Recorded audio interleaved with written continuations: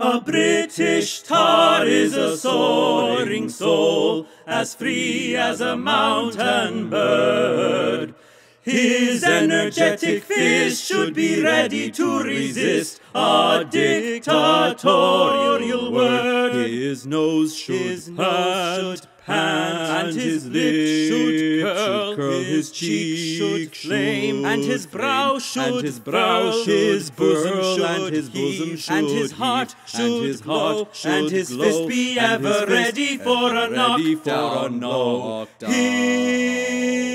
Nose should pant, and his lips should curl, his cheek should flame, and his brow should furl, his bosom should heave, and his heart should glow, and his fist be ever ready for a knockdown blow.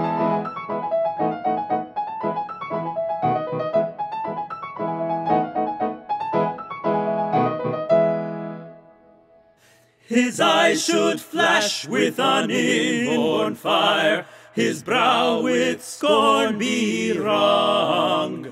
He never should bow down to a domineering frown or the tang of a tyrant tongue. His foot should His stand, foot should stand, and his throat should growl, his hair should twirl, and his face should and his scowl, should his scowl, and his eyes and his breast flash, and his breast protrude, and this should be his customary customary attitude.